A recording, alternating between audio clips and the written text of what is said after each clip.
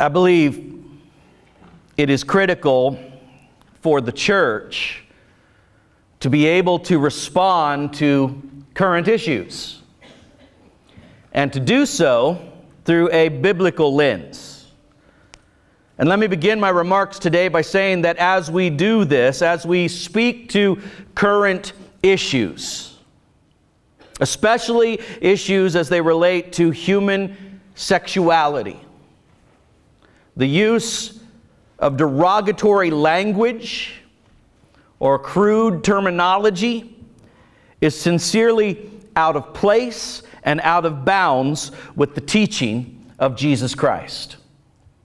There is no place for that kind of behavior. Churches like Westboro Baptist Church are antithetical to the way and person of Jesus Christ. All Christians should be easily able to see that they do not represent a biblical worldview. Every individual is uniquely created in the image of God and has inherent value and worth as a human being who is loved by God. There is no place for rude, disparaging, or demeaning comments from the people of God. Paul writes in Ephesians chapter 4 verse 29, "Do not let any unwholesome talk come out of your mouths." When I researched this, that word any means any, but only what is helpful for building others up according to their needs, that it may benefit those who listen.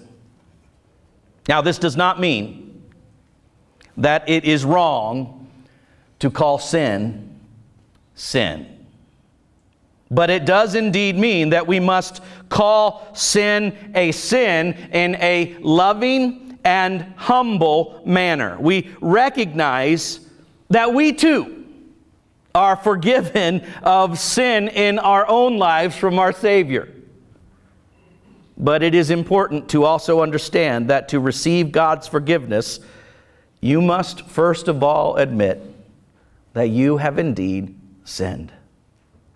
And that, my friends, is the problem with the modern worldviews surrounding sexuality and gender identity in our culture. Forgiveness is not possible unless you are first willing to admit that you have violated God's standard. So it becomes critical to know what is God's standard? Does he have a plan for human sexuality? Are there, are there boundaries that he has actually established? How do we determine gender in the eyes of God? I want you to turn in your scriptures, if you would, to the sixth chapter of First Corinthians. This was written to people in a town called Corinth, a very pagan town. Paul wrote them to especially deal with their view of the body. And you need to know that my goal for us this morning as we enter into this topic is for us to just focus on this one central concept of how God Himself views our body. If we can begin to see as God sees, then we will more likely do as God says. Part of the reason we go to extremes today is because we fail to see things as God sees them. Human sexuality, gender identity, all of it is taken to extremes when we fail to see those issues from the perspective of a holy God. 1 Corinthians 6, verses 19 and 20, the Apostle Paul writes to this church in Corinth Do you not know that your body is a temple of the Holy Spirit? Who is in you, whom you have received from God. You are not your own. You were bought at a price. Therefore, honor God with your body. Do you not know? And most of us do not know, honestly. We had no idea that our body is a temple of the Holy Spirit who is inside of us. When the Corinthians originally read this letter, something immediate came into their mind because they had a temple right in the middle of their city. In Corinth, there was a temple to the goddess Aphrodite. And When Corinthians read this, when he wrote temple, they, they thought, oh, temple, I know, temple. That's, they knew what the temple was. We don't really kind of get that same connection. A temple was a building that was erected to elicit worship of a deity. That when you went to the temple, you were there for one specific purpose. That was to give your time and your devotion to your God, little g. In the Old Testament, the Jews had a temple. And in that temple, the Spirit of God dwelled in the Ark of the Covenant. You, you, remember all of those stories, and the Jews would, would go into the temple with the purpose of worshiping God, being cleansed from their sins, connecting the best that they could with their God, big G. The temple was all about worship. And the Apostle Paul says, Okay, I don't know what you've been thinking about your body, but let me tell you what God says about your body. It is a temple.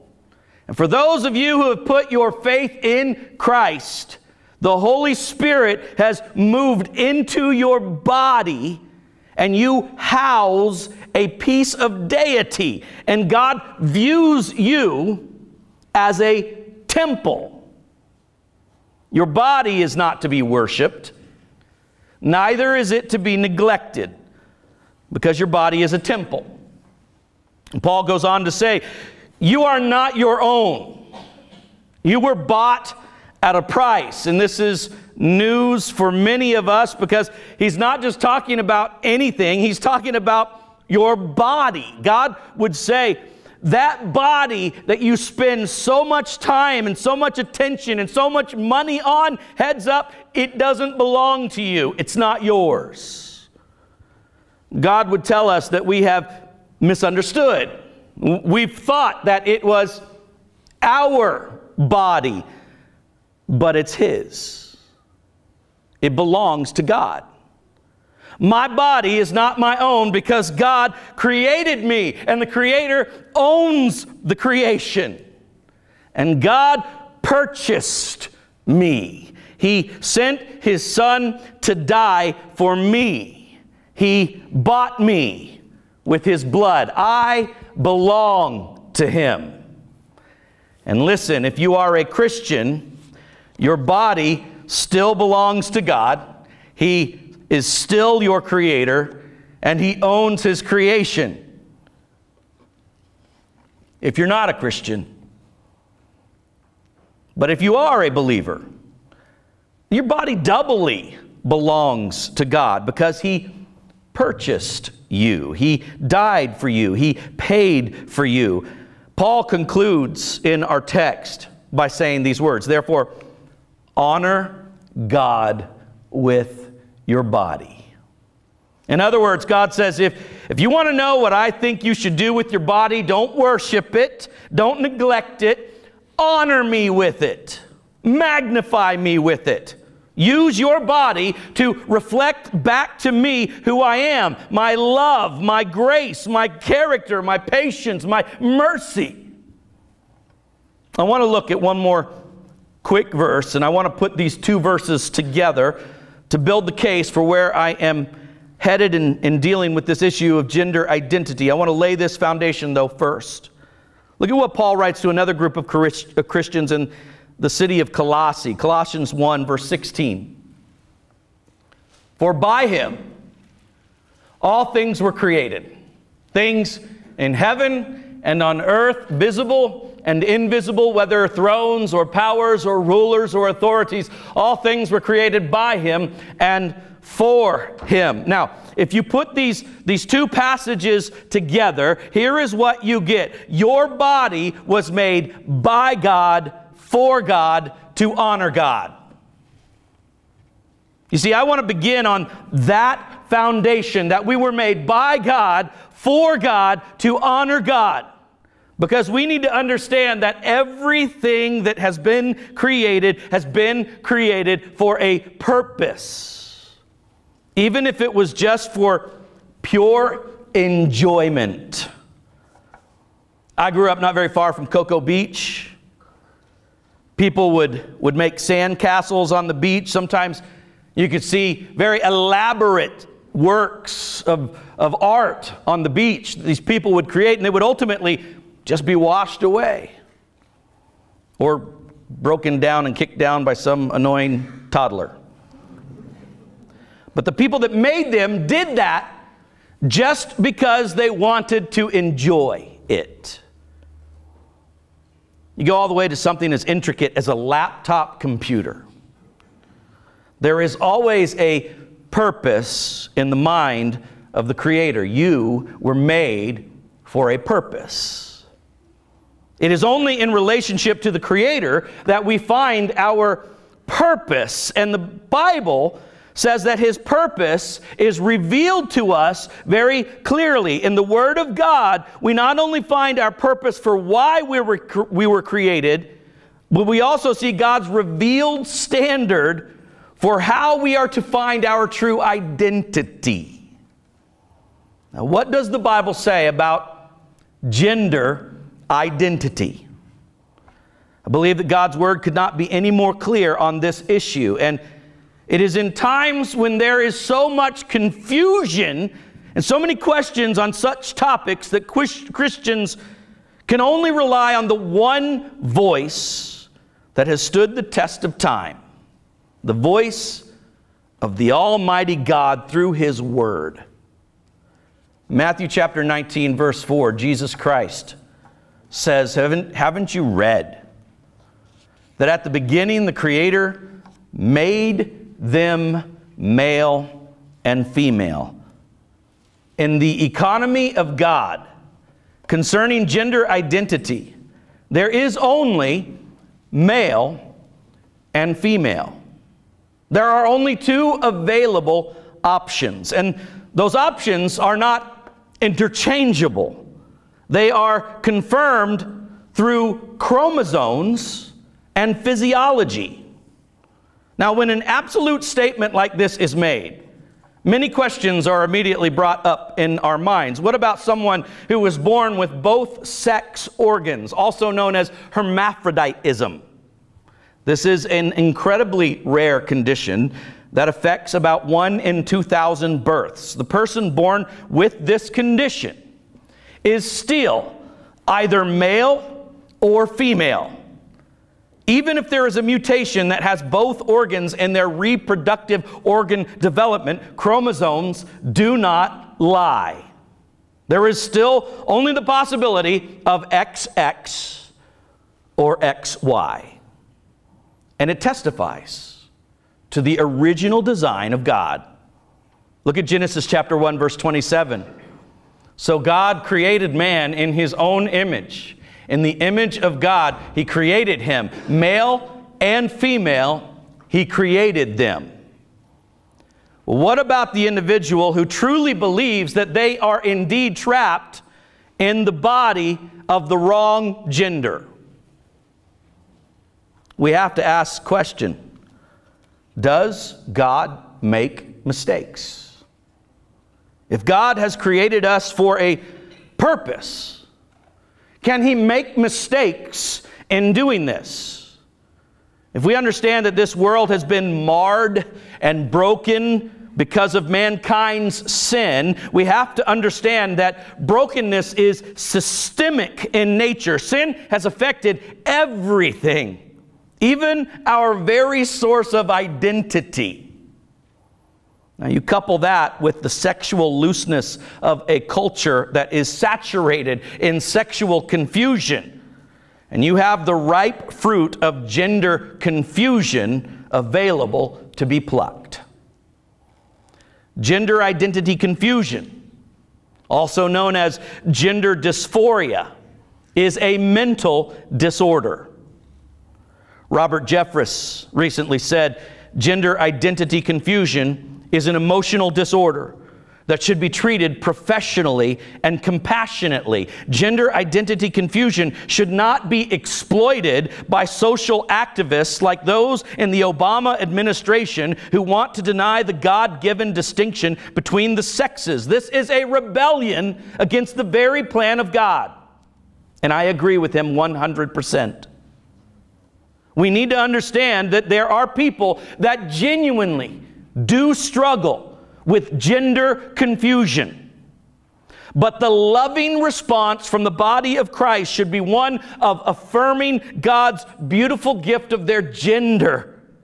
It is to be celebrated, not rejected.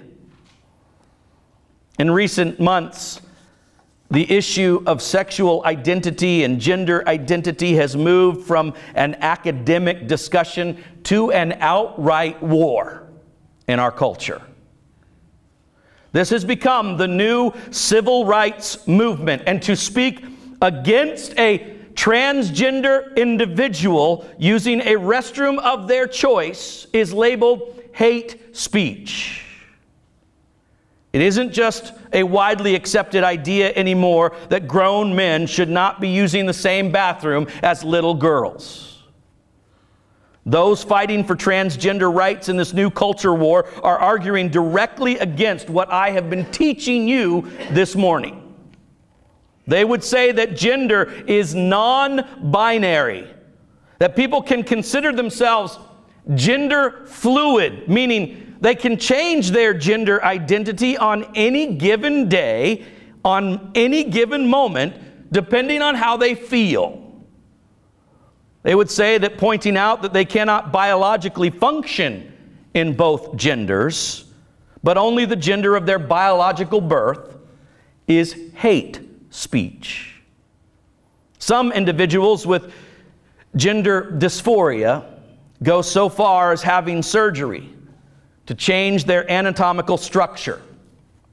And sadly, what happens in these cases is their sex organs will be non functional for the rest of their lives, and their bodies will even treat these surgeries as a wound.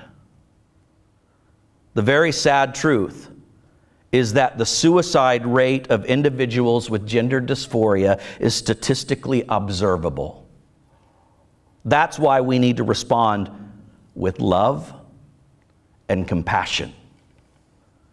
When we remove ourselves from the simple truth that God has created us for a purpose, that we were created by God, for God, to honor God, only confusion and hurt replace those truths.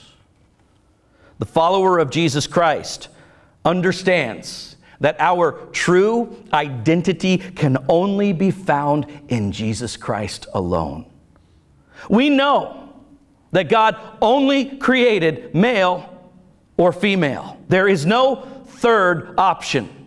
The gender we have been given at birth is a beautiful gift from God that needs to be celebrated. And we need to recapture biblical masculinity and biblical femininity. And we need to love everyone, regardless of whether or not they accept biblical truth on these matters or not. It is only by our consistent love, our unwavering stand on truth, and confidence in Christ Jesus that the world will begin to open itself up to the truth on these matters. Come, thou fount of every blessing, tune my heart to sing thy grace. Streams of mercy never ceasing, call for songs of loudest praise. Teach me some melodious sonnet sung by flaming tongues above. Praise his name, I'm fixed upon it, name of God's redeeming love. Hitherto thy love has blessed me, thou hast brought me to this place. And I know thy hand will bring me safely home by thy good grace. Jesus sought me when a stranger, wandering from the fold of God, here to rescue me from danger, interposed his precious blood. Oh, to grace, how great a debtor daily I'm constrained to be. Let thy goodness, like a fetter, bind my wandering heart to thee. Prone to wander, Lord, I feel it. Prone to leave the God I love. Here's my heart, oh, take and seal it.